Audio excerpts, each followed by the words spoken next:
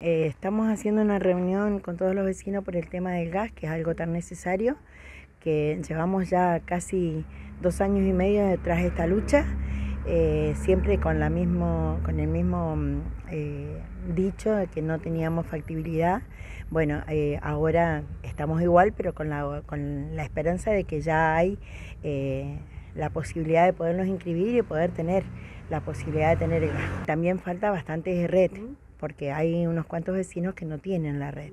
Entonces, si bien nosotros lo tenemos, pero hay muchos vecinos que no, y si esto es una unión vecinal, la idea es trabajar unidos todos juntos para que todos puedan tener la misma, el mismo beneficio y tan importante como es el gas. Y estamos hablando más o menos entre 60 y 70 familias que tienen la necesidad de tener el gas. ¿Viste lo que sale la garrafa? Es impresionante. Hay mucha gente que tiene niños. Entonces, eh, uno mucho, hemos trabajado mucho en silencio porque en realidad no da para reuniones todas las veces más, está un poco frío, entonces medio como que eh, por ahí tenemos culpa desde la, desde la comisión directiva de no haber informado al vecino cómo estábamos trabajando con el tema del gas, pero bueno, la idea era tener todo más o menos armado y llamarlos ya a una reunión que fuese lo más ya algo confirmado. Lo que se hace es un procedimiento en Gas del Sur en donde se nos han dado las planillas para que desde la Unión Vecinal se presente un expediente en Mendoza, ellos vengan, hagan, el, midan cuáles los caños que faltan de la red y una vez que ya tengamos el presupuesto de esa obra, que es lo que por ahí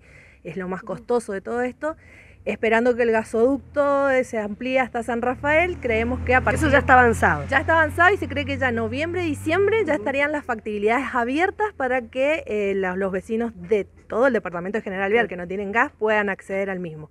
Entonces, el objetivo es que de acá a diciembre podamos terminar de ampliar la red, que tenemos un 60% de red, o sea que nos está faltando un 40%. No es mucho, pero bueno, ese 40% tiene su costo y es el que ahora nos tenemos que poner a, trabajar cuando nos definan cuál va a ser el, el monto. Cada vecino cada usuario puede ir y pedir su factibilidad en forma particular. El objetivo de la unión vecinal es completar la red del barrio para que después quede habilitado cada vecino de la conexión. La junta de las firmas, para que empecemos a trabajar en conjunto. Entonces, cuando nos den el presupuesto, digamos, bueno, tenemos toda esta cantidad de vecinos, ¿cómo lo vamos a encarar?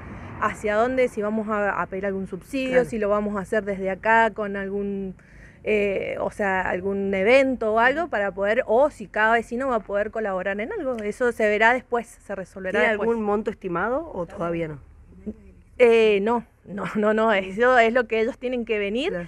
Eh, a presupuestar y bueno, y a partir de ahí, eh, sobre todo año electoral, pedir la colaboración seguramente como siempre en la municipalidad que hasta acá siempre nos, nos ha ayudado y nos ha apoyado en todo lo que les hemos solicitado, siempre ha estado presente. Los días que acá se reparte la garrafa y vienen cómo vienen personas mayores, madres con sus changuitos, que no vienen los niños, sino que viene la garrafa, es lo que a nosotros nos motiva hoy estar trabajando para que todos los vecinos de este barrio puedan tener la posibilidad de tener el gas.